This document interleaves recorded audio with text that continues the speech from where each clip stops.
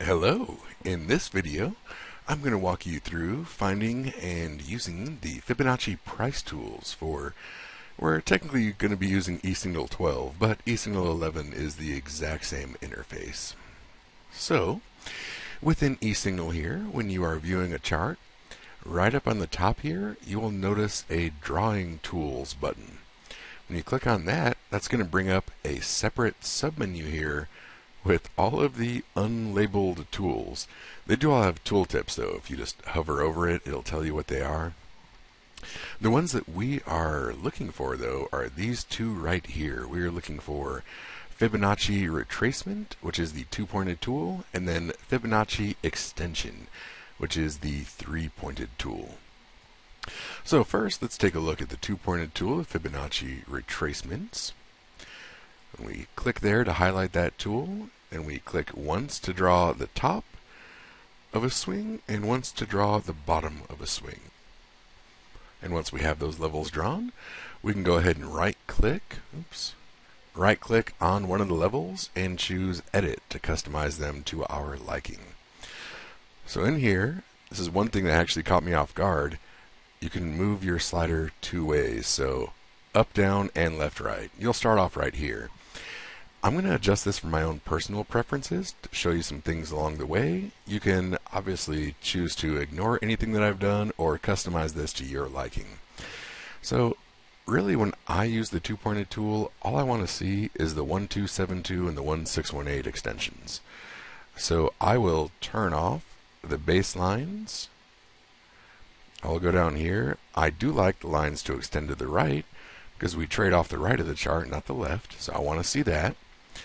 And then inside of here, I will turn off all of those inside labels just because I, I don't use them. And then from there, I'll go in and add the 1.272 and also the 1.618 extensions. And you can change the, the colors, do literally whatever you want. I mean, since this is just a demo, let's just imagine the color is exactly what you would like to see.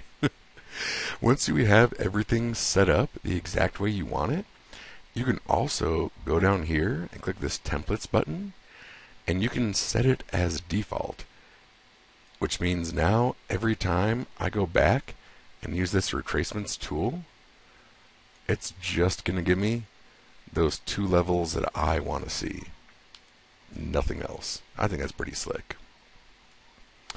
So now let's go ahead and remove these guys and show you the three-pointed tool.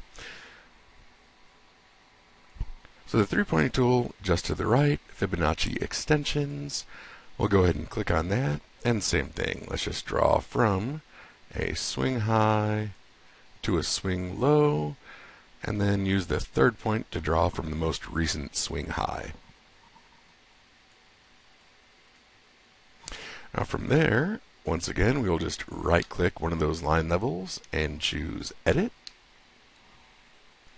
And inside of here, same sort of deal. With the three-pointed tool, I only like looking at the 100% level for symmetry reasons, so I will turn off the distances, base, I will extend the line to the right and then I will scroll down here and turn off everything but the 1% or 100%. Now this is where it caught me off guard the first time I was playing with this. You have to scroll to the right to find the other two coefficients that are turned on.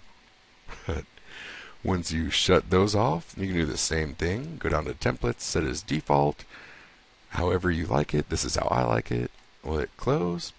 And now every time you use the three-pointed Fibonacci tool, draw, draw, draw, you will just get your customized levels as you want them. I certainly hope that was helpful. If you do have any other questions for me or anything else I can do to help you out, just log on to Simpler Trading, go to your foundation dashboard, click on the Simpler Tech icon, and there's a button right up top for you to submit questions to me. Thank you very much, and we'll talk to you soon.